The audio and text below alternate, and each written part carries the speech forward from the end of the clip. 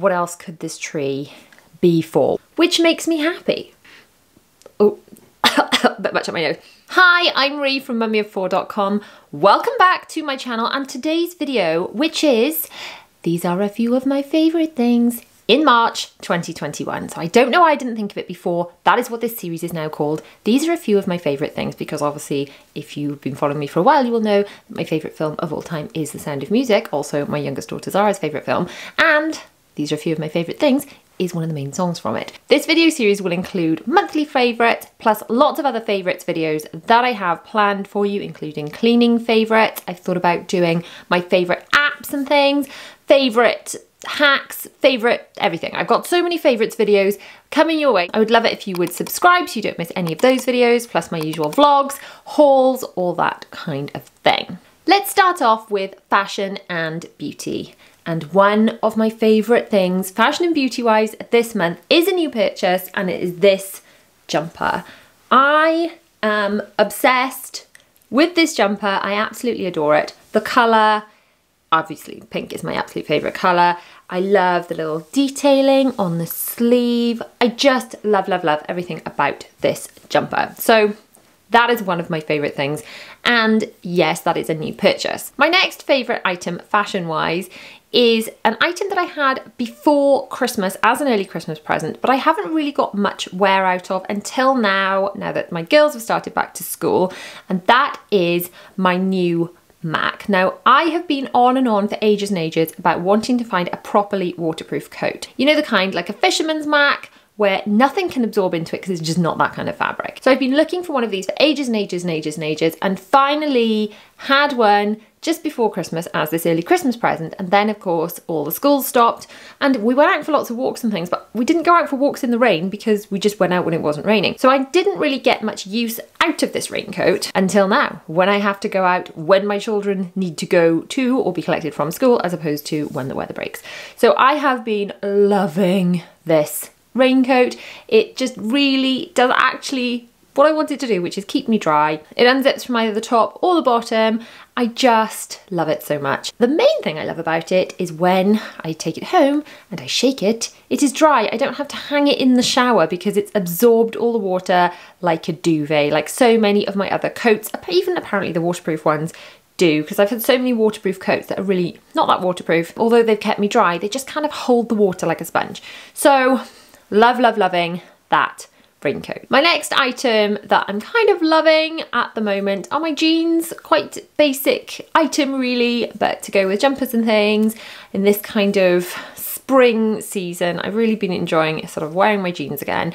I have got several pairs of the Next stretchy jeans. I think they're called 360 denim jeans. I've got them in a few different colours. Quite often it just looks like I'm wearing the same pair of jeans over and over, but I've actually got a couple of pairs of the same colour as well because I do wear them so much. Obviously one of the best things about jeans is got a little pocket for your phone. So if you are looking for a pair of really comfy jeans, I can recommend the Next ones because they're so stretchy you could literally do yoga in them. They are that stretchy. My next item I've been loving at the moment is something I picked up in a Sainsbury's clothing haul a little while ago and it is my weekend jumper and I'm not even sure if they've got these in stock anymore but I've been wearing this every weekend and it has been reminding me to enjoy the weekend sounds daft doesn't it I think I've been enjoying wearing it just to mark the difference between the weekends and the weekdays.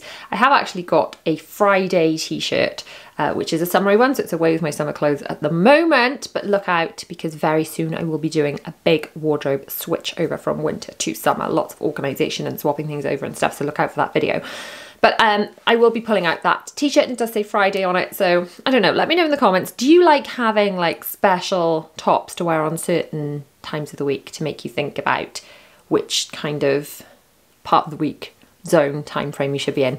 Or is that just me? Maybe I'm just a bit weird. My last fashion item before we move on to beauty, it's actually two things, but they're basically two of the exact same thing. And this is literally the nicest basic t-shirt I have ever had. Like I've had so many different types of basic t-shirt from all different places. Um, this one's actually from Boden Um, I bought these when I had a discount code. I know I've always got a discount code from Boden, so I will pop that below in the description. But I think I bought these when the discount code went up to a 20%. Um, so check out, just pop the discount code in at the checkout. So I don't know when you're watching this video, so I can't tell you exactly what the code will be relevant for at the time you're watching, but uh, if you pop that code in, there's normally at least a 10% discount, sometimes a higher discount with that code. So just check that out below. Anyway, these t-shirts, so I've got the black one I've had for a little while, but I've just been loving it. And at the moment, I just wear it under things, um, but I will totally wear this on its own when the time comes. But it's just a really lovely kind of thick quality fabric, but the fit on it is just so nice and it's just got a, the right amount of give in it. I just love it. So I actually got another one in navy. So this is actually new. I haven't even worn this yet. As you can see, the tag's still on it. But if you were looking for like a basic t-shirt, these are so nice. I think I would rather have like one of these because obviously as you can see it washes quite nicely anyway, um, than several cheaper ones because honestly, until you've put it on, you just don't even know if you're looking for a really basic t-shirt that feels amazing and fits beautifully. I can recommend these. Onto the beauty segment of this video. As you'll probably know if you have been following me a while on here or over on my Instagram, I'm really lazy when it comes to my hair, like super, super lazy. I do have my Revlon styling tool, which when I can be bothered is fab for blow drying my hair properly, but let's face it, at the moment, it's not like we're going, you know, out a lot.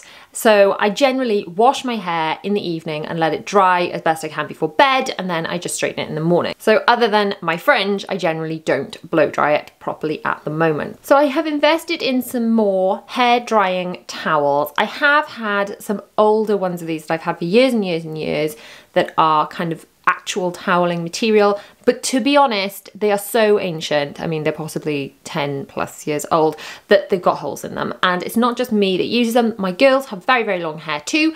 So they also need to have their hair dried before bed. So I bought this pack of hair drying towels. They're really cute. They've got this little teddy bear button on them. There's in the pack, you get one pink one and one grey one, which are obviously the colours of my house and my favourite colours, so really pleased with that. And they're just a really beautifully soft fabric. These were not expensive. I will link these and everything else I can find links to below. In fact, there is a blog post that I'm going to do to go along with, with all of these videos now. So that uh, all the links to everything will be on that blog post.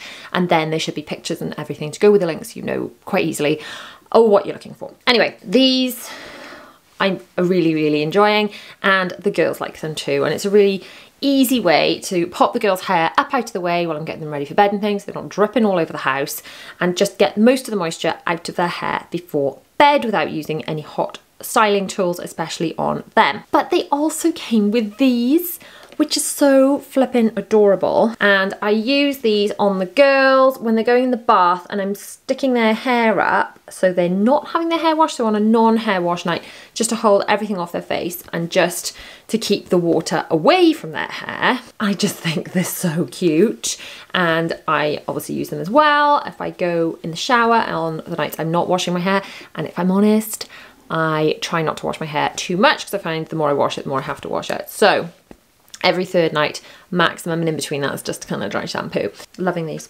The girls are loving these. I actually ended up buying two packs of them. So I've actually got two sets because they were such a hit and the girls were actually fighting over colours. So now they can wear matching colours and even if I'm washing my hair the same night, I still have enough towels for all of us. Next item falling under beauty is this mascara. You can probably tell I am actually wearing false eyelashes. I've talked about these before. I talked about them in my last monthly favorites video. I've talked about them in my Amazon favorites video and I will link them below they are great. But what I will say is you cannot put magnetic eyelashes on without some mascara to stop them just sliding right off because your natural eyelashes are too slippery and they need something to grip to and stick to. But what I will say, I tried this mascara after I saw some people raving about it online and even if I don't bother with sticking my magnetic lashes on, which I kind of always do, you know, but I feel like I don't have to. If I just put a bit of this on, it is enough without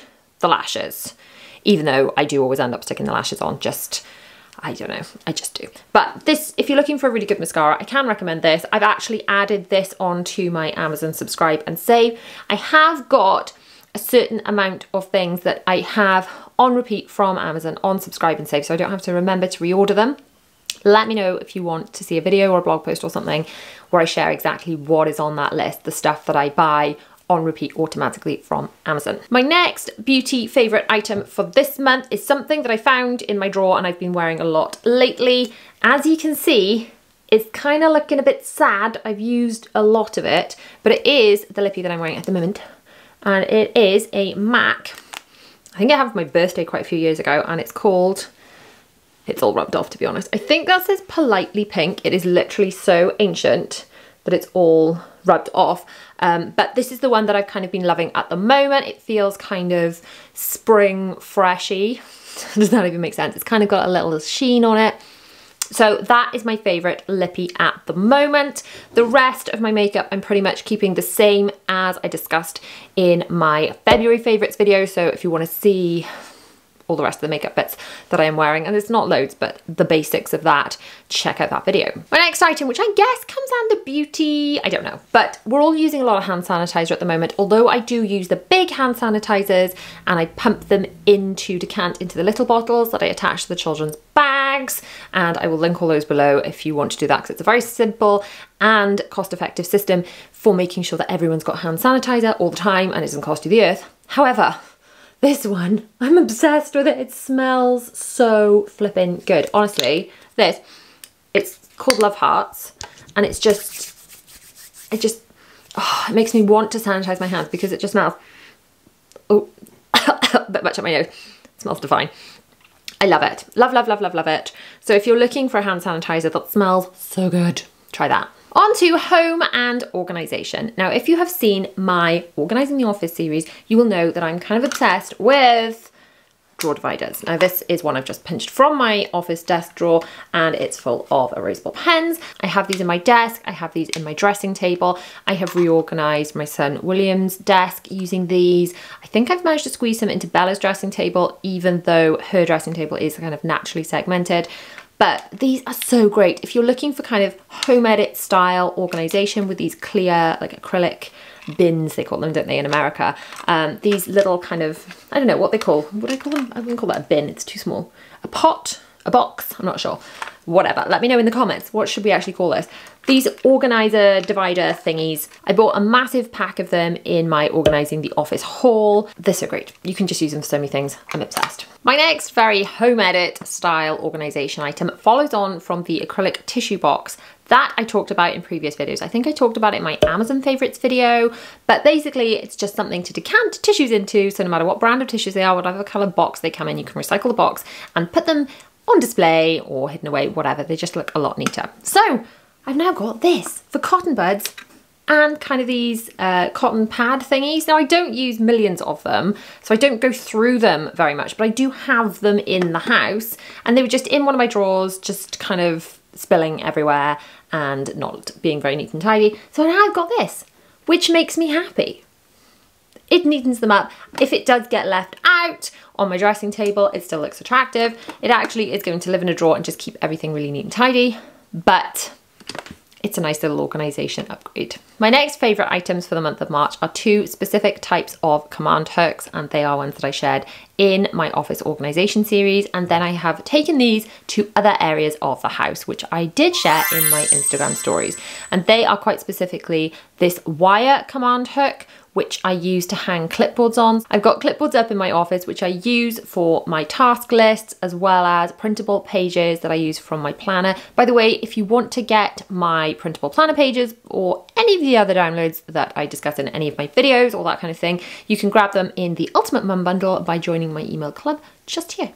So join here and you will get all those, those printable goodies and whenever new printables come out, I shall send them out with the weekly email. Anyway, these specific hooks are fantastic for hanging clipboards or other essentials on around an office area. I've actually popped the clipboards up in the children's rooms as well. So if they want to jot anything down, they've got homework to do, that kind of thing, they have a clipboard and paper there accessible at all times.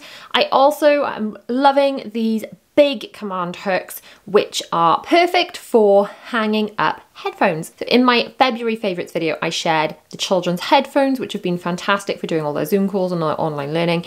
So they're over ear headphones, they are Bluetooth, there's no wires to get caught up in, but they need charging every now and again, obviously, because they don't have any wires. So these hooks are ideal for popping them on for charging and just for storing them so they're not just on the way cluttering up their desks and things. And then obviously I have got my headphones stored on one of these hooks in the office too. On to kids and family favourites for the month of March. Now, as the girls have gone back to school, they have suddenly started wearing their raincoats, which, yes, I bought at some point during lockdown, but they literally hadn't worn at all. Partly because it was just so cold, they had to wear really, really thick coats at the time when we were going out for walks. And also, same with my raincoat, we just weren't going out and walking voluntarily in the rain. Now that they're back to school, they're having to go out whatever the weather. They are making the most of these raincoats. Now, they had Joules raincoats when they were much smaller. I think we had an age one and an age four raincoat, and they were the purple ones that they wore to death. And they've literally just grown out of them. So I've now got bigger sizes of basically the same coat in a different print, and they're great. Honestly, they are runoff, kind of proper waterproof, like a like a fisherman's coat, and they're so so pretty. They're navy and they've got little flowers and unicorns on them. The girls love them. So although I haven't just bought those, they are a new favourite because they've only just started using them. More favourites from kids and family. So you may have seen I have got a celebration tree, which I bought just before Halloween last year. So it's been a Halloween tree, it has been a Christmas tree, it was a Valentine's tree, and for the month of March, it is a birthday tree because, yes, Daddy Four's birthday is in March. So I've bought these wooden decorations for the children to decorate for the birthday tree. And they have gone wild with some pens that I had from Baker Ross when I was working with them. So that's from like a previously gifted like ad collaboration thing although this video is not sponsored. So those pens I think they're called deco pens and they're for drawing on words and all sorts of different surfaces and things. So we used those plus some stickers that I bought which are like foam stickers with glittery bits on them and things to make these birthday decorations for this birthday tree. So once his birthday has finished and we will be moving on to Easter, I'm going to try and buy some Easter eggs for them to decorate and do a very similar thing. And then after that, I don't know, other than birthdays, what else could this tree be? But I'm kind of loving this tree at the moment as our celebration tree, but I would love to hear your ideas for after birthdays and Easter, before Halloween, what else could this tree be for? Which other celebration can we mark with this tree and how can we decorate it?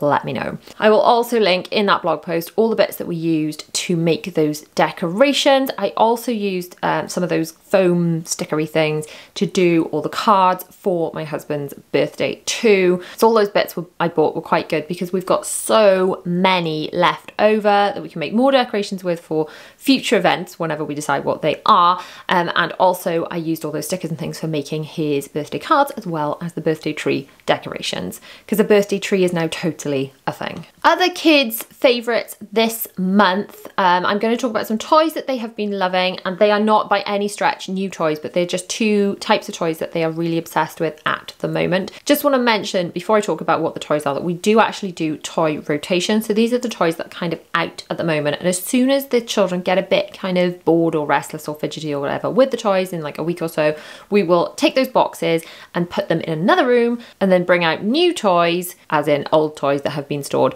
and they will feel like new toys, and then suddenly the children will have sort of more engaged play. Again, I find that doing this really, really helps to keep them entertained. Anyway, the two things they've been loving at the moment are Duplo now I know technically they're all old enough to not play with Duplo and play with other things, but we've got so much Duplo. They love it because it's really colourful and they can make things quite quickly with it. But more than anything, we've got a lot of the sets that came with little characters. So they've got lots of the princesses in Duplo and Minnie Mouse and Mickey Mouse and all those kind of things. So they really enjoy playing with it, not just on a building level, like you would with Lego perhaps, but actually making games and things with it. So they've been really enjoying that at the moment.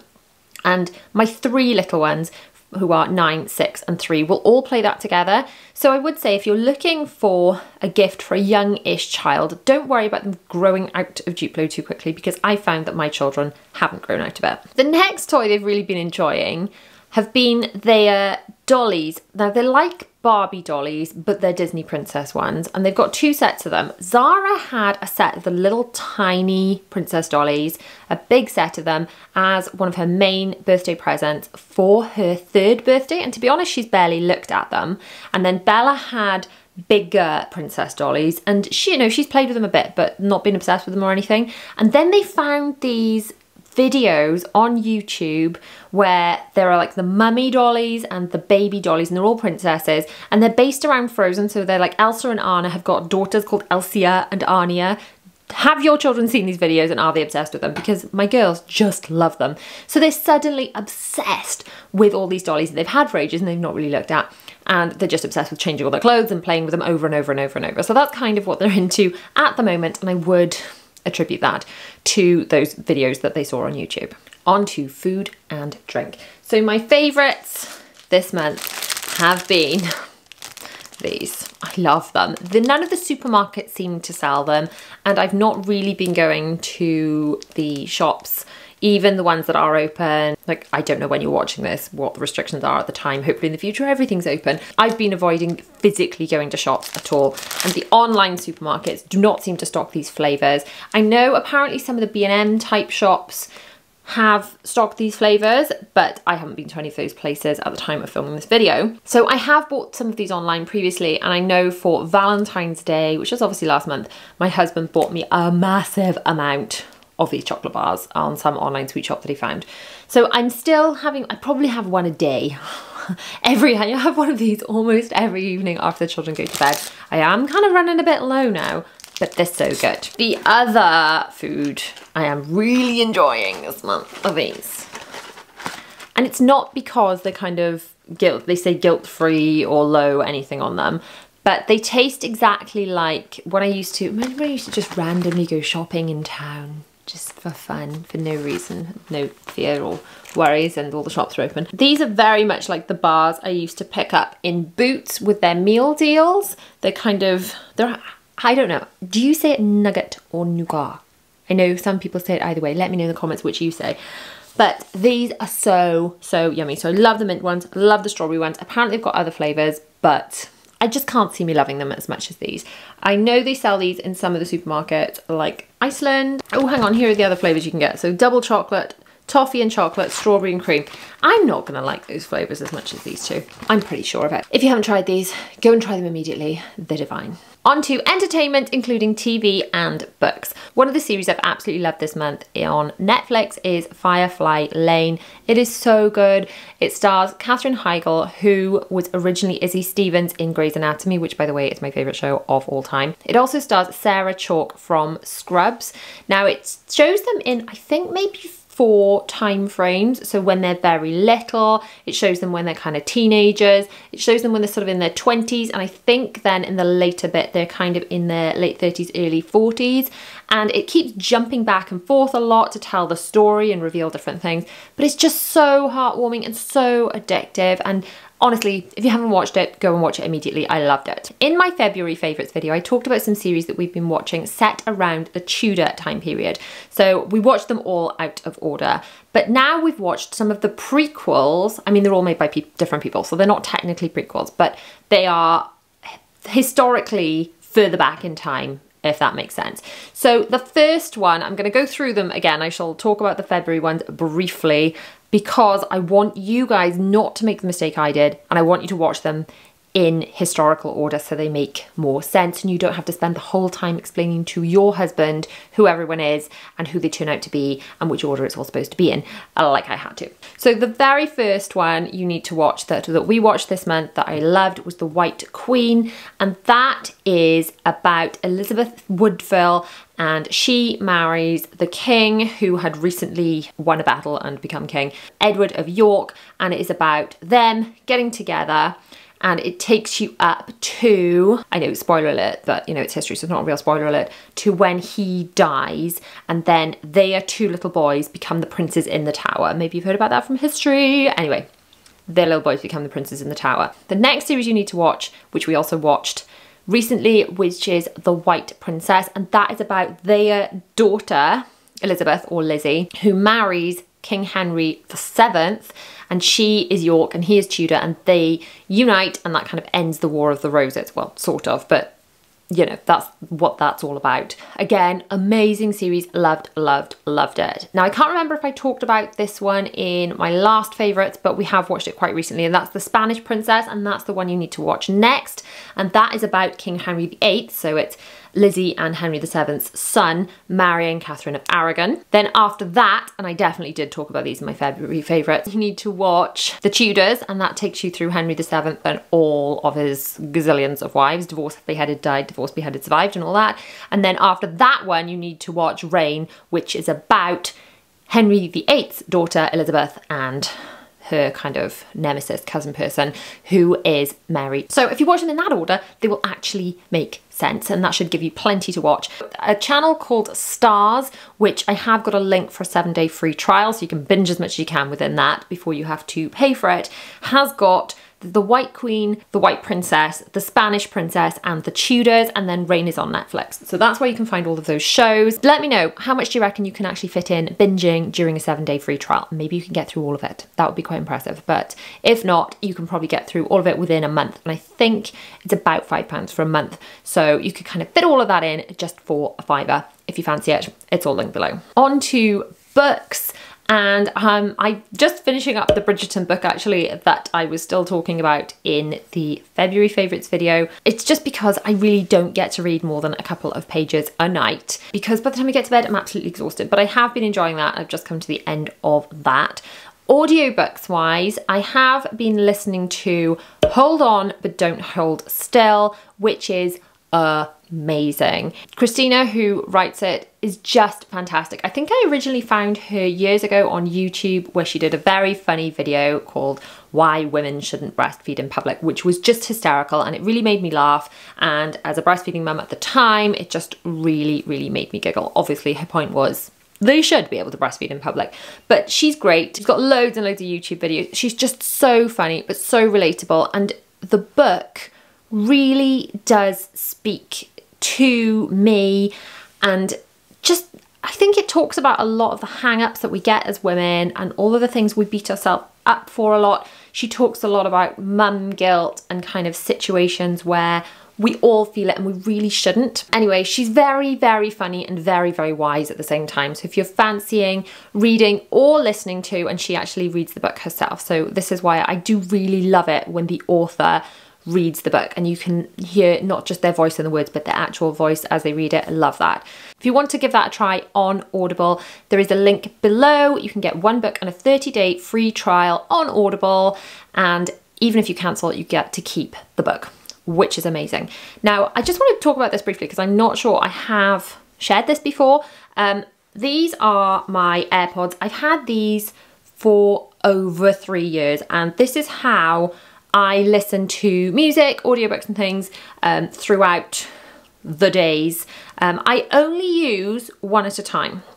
Partly so I can listen out for the children and partly because while one is in my ear, the other one is charging. So that's a way that you can kind of constantly have them on. This is also the only way I manage to talk on the phone to friends and things during the day while I am cooking. It's a really good way of keeping in touch. So as an aside, if you haven't got wireless earbuds of some description, I mean, they don't actually have to be AirPods, they just need to be a wireless headphone, something you can put in one ear, and then when that's going a bit flat, you can swap to the other ear. You can listen to your audiobooks, you can listen to your podcasts, you can listen to YouTube videos, and even when you're walking away from them, you can still kind of hear them and things. So maybe you could be listening to this YouTube video on some uh, wireless headphones.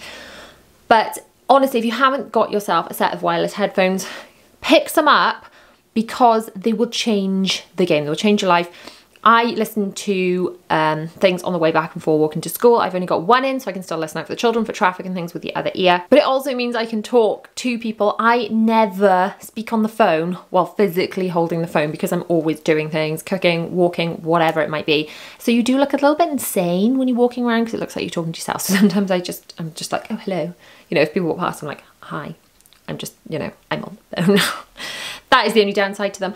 But honestly, it's just a really good way of fitting in a little bit of me time, I guess, while you're doing other things. So taking in books, music, content, or staying in touch with friends. So I hope you've enjoyed this March favorite video of these are a few of my favorite things.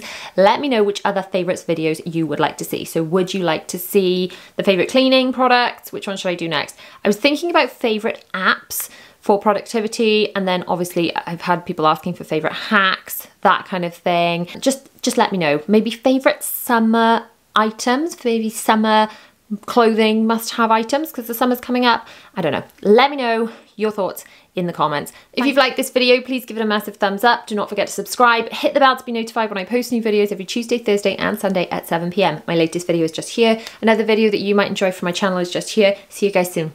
Bye.